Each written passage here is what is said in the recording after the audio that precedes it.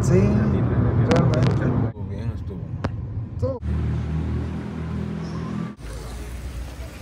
El día de hoy me encuentro en un lugar muy hermoso del estado de Michoacán. Estoy en La Piedad, La Piedad de Cavadas. Hoy es sábado 2 de septiembre de 2023. Por eso que aquí hay vendedores de banderas. Pues hemos llegado a este lugar desde temprano. Y pues siempre es un gusto venir aquí a, a La Piedad. Esta es la plaza Hidalgo. Al fondo vemos el remate, la linternilla y el remate de esa cúpula enorme de este templo. La torrecita, la torre de tres cuerpos, campanario. El templo del Señor de la Piedad. ¿Por qué se llama La Piedad este lugar? No siempre ha sido así. Este lugar es muy antiguo, aquí habitaban ya desde tiempos inmemoriales. De hecho, hay, muchos registros antiguos. Lo más antiguo que se tiene conocimiento, según yo sé, es que en el siglo XII, allá por los años 1100 y fracción, los aztecas por aquí pasaron. Estamos cerca de- de un río, no se nos olvide. Y pues los aztecas aquí fundaron el pueblo llamado Sula, lugar de codornices. Vean, qué bonito está enmarcada la plaza por estos árboles. Dan sombra y honor la verdad, pues sí es. eh, hace calor, se siente, se percibe calor. Bueno, pues así se llamaba este pueblo de, fundado por los aztecas, Sula. Pero en 1380, Tariacuri, el rey de los purépechas, conquistó este pueblo y le puso otro nombre. Ah, le puso Aramuturu. Aramuturu. La verdad no sé qué significa esa palabra. Pero ya, ya se ve claramente que es lengua purépecha. La lengua purépecha se caracteriza por esa fonética. Así como en náhuatl es eh, Aztlán y cosas así. Eh, el purépecha tiene eso, eso fonética muy peculiar. En lo personal a mí me gusta. Ah, ya, ya vi. Aramuturu se llama, eh, quiere, significa lugar de cuevas. Pero llegaron los españoles en 1530 y este, le pusieron San Sebastián Aramuturillo. Aramuturillo. Totalmente todo castellanizado. Así quedó, así quedó el nombre San Sebastián Aramuturo, Aramuturillo. Hasta que la Nochebuena de 1687 se encontraron por aquí cerca un madero con la cruz, con la forma de, Cristo crucificado. Y los otros pueblos, digo, San Sebastián Aramuturillo no era un gran pueblo, eh, se disputaron su, su posesión de este madero y hubo un- unos sorteos y en dichos sorteos San Sebastián ganó y se quedó con dicho madero en forma de Cristo crucificado. Eh, se le adjudican muchos milagros a este madero. Entonces decían que este, esta figura de Cristo era muy piadoso. Y de ahí se le cambió el nombre a este lugar a La Piedad. La Piedad fue inclusive conocido por encima del nombre de Sebastián, Sebastián Aramuturo como La Piedad por la piedad que dicho, dicha figura de Cristo crucificado le daba así quedó. El nombre de, ya después se le oficializó, se le puso la piedad. Posteriormente, ya, ya entrado el siglo XIX, se le añadió de cavadas, con V, cavadas, en honor a un presbítero que estuvo aquí viviendo de 1830 a 1835. Y miren qué bonita imagen. Las banderas. No, yo quería hacer un paneo con... No se puede. El caso está en que de ahí el nombre de este lugar, la piedad de Cavadas. La piedad en honor al Cristo milagroso, cuya piedad le hacía dispensar toda clase de milagros y de Cavadas debido a un presbítero, un sacerdote benefactor muy querido en este lugar, estuvo aquí de 1830 a 1835. Es un municipio muy próspero aquí en La Piedad. Aquí veo mucha gente, mucha reunión, parece como una peregrinación, banderas de colores, no sé qué significa. Miren qué bonita está la, la fuente, la fuente tiene una garza, estamos muy cerca de, de un río, no se nos olvide, entonces es por eso que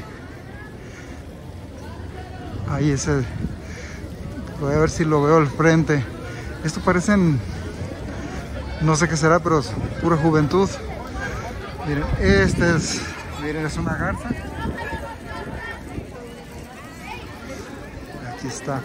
Y esa es la portada del templo del Señor de la Piedad. La cúpula es, es grande, es gigantesca. Es una de las más grandes que hay en México. Y su construcción pues duró muchos años. Vamos a entrar para verla.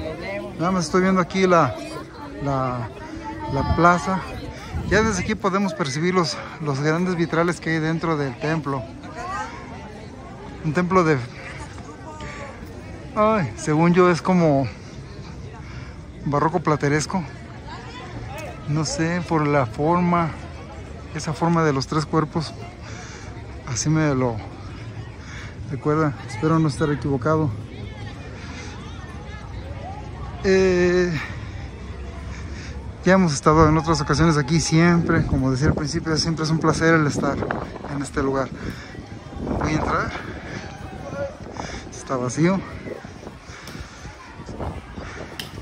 O sea, no hay misa, quiero decir. Hace una hora que llegué si había misa. Ven nada más esto.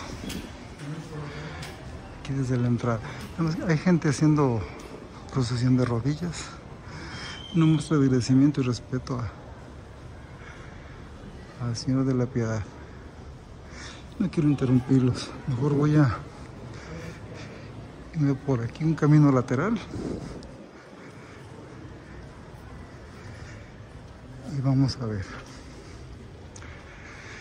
Es un lugar grande, muy grande, pero más grande es su cúpula. Es una de las cúpulas, como decía al principio, de mayores dimensiones que pueda haber en México.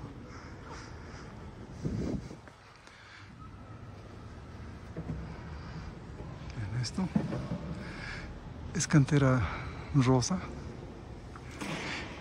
muy, muy, muy detallada, muy trabajada. Vamos a esta base de columna para que veamos un poco. Eh, esa es una como una concha de para bautizar. Y vemos todo esto. El candil es gigantesco también. Vamos a vernos un poquito para acá. Acá hay una lateral. Es, forma de cruz latina. El templo tiene ese porque está el órgano, el coro.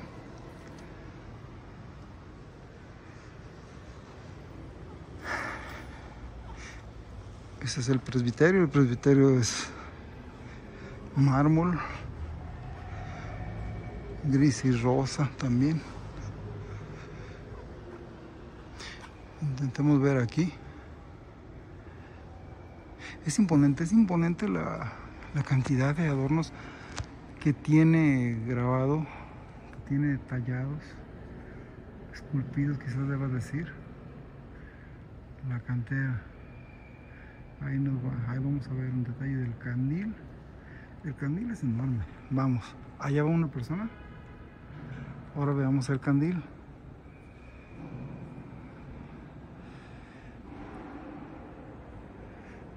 Y luego sus vitrales. Los hermosos vitrales. No me he puesto a investigar, pero tal parece. Ay, perdón por el desenfoque. Perdón, enfoca, enfoca. Trabaja. Parece que son los apóstoles. Y lo que no estoy seguro es si el, el Cristo, el crucifijo que está en el altar principal, aquí en el retablo principal, es el que dicen que se apareció. No estoy seguro. Voy a investigar. Está detrás de un vidrio. Quiero investigar. O lo voy a hacer por aquí vía un sacerdote. Voy a ir a preguntar. Y ahorita les doy el dato. Pero por lo pronto Vamos acá al fondo. Es una puerta lateral. También con vitrales. A mí me encantan los vitrales. Ah, por acá es la calle también. No sabía.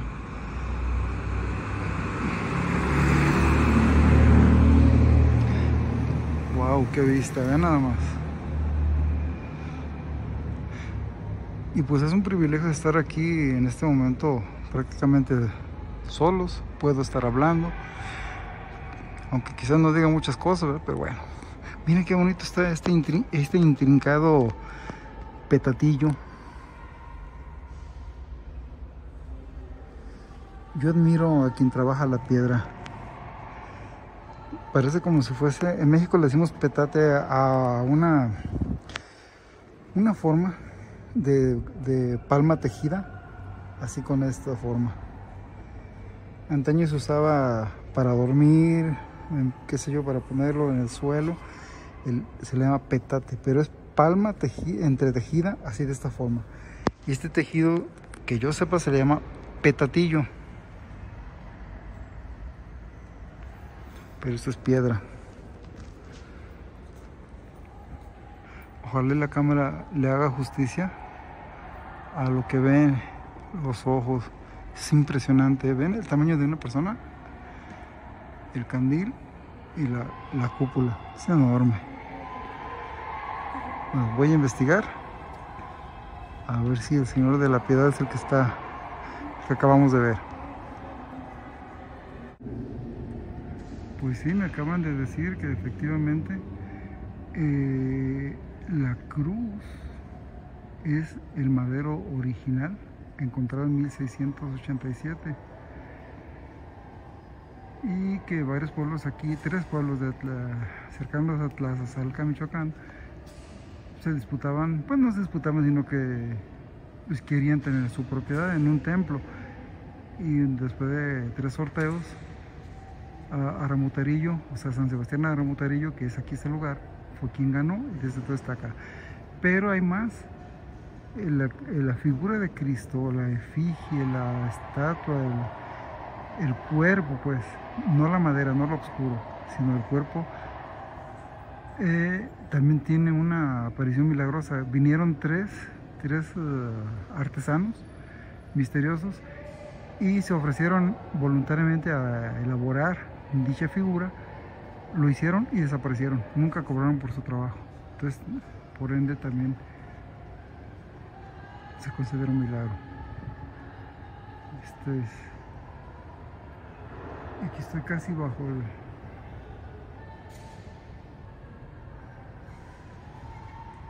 No puedo enfocar, perdón. Pues aquí estoy otra vez, justamente aquí. Y quiero mostrarles cómo se ve la cúpula desde abajo. Es enorme, tremenda. Y estábamos admirando la belleza de su estructura, de su trabajo. Es la vista hacia atrás. Y pues vámonos a seguir, seguir viendo por aquí. Mucha historia, mucha fe, mucha belleza. Y ahora vamos a ver. Pues allá está el coro, allá está el órgano. Y vamos a llegar a aquel lugar. Se llega por aquí.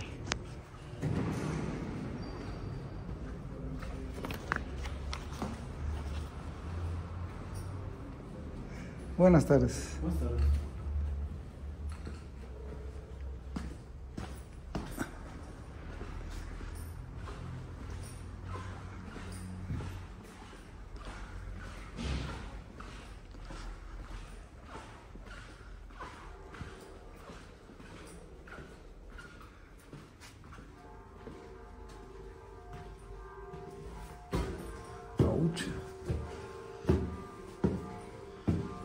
Escalones son algo pequeños.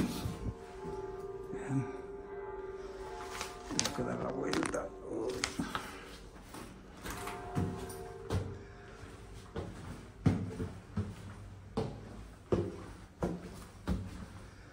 Otra vuelta. No está pesada la subida. Está. Los escalones son pequeños. Ay, me Desde aquí hay una salida. Y podemos ver desde aquí.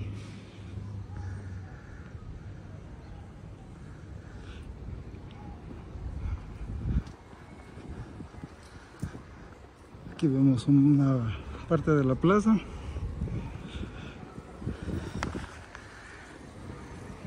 Esta es la garza que vimos hace rato.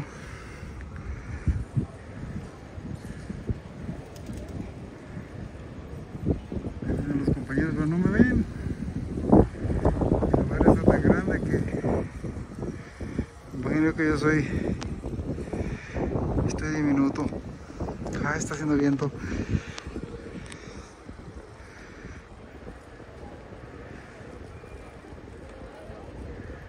Ahí están.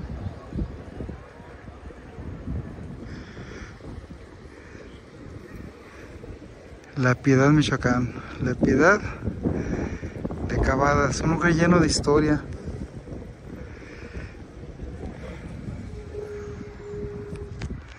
Es lo que podemos ver aquí. Pues el templo es enorme. Imposible verlo. Vamos a verlo.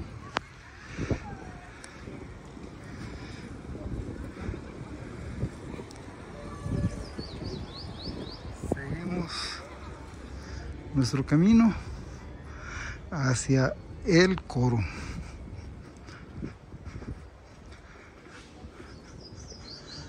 Ah, caray, ¿dónde estoy? Ah, aquí. Que seguimos. Aquí ya tenemos ese barandal. Vamos a ver para abajo,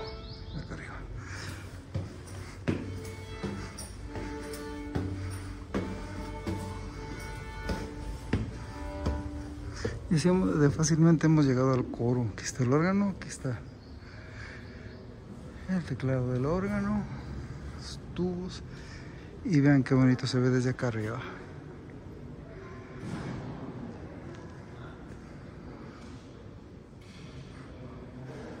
Esto es.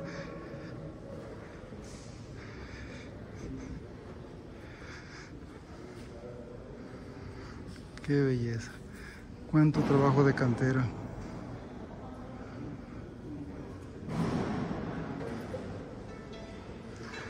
El órgano. Y aquí hay un viejo armonium. Ya. ¿Funcionará todavía el armonium? Vamos a investigar. No, no, maestro, está bien. No. No, ya no funciona. Ah, no, sí. Oigo. sí, no, es que este es de armonium, este flujo de aire impulsado por los pies. En fin, pues es lo que puedo platicarles el día de hoy. Será en 1840. Pero en 1940 ya había luz, ya había electricidad. pues esto queda, queda como un recuerdo. Sábado 2 de septiembre 2023, el Santuario de la Piedad en la Piedad de Cavadas, Michoacán.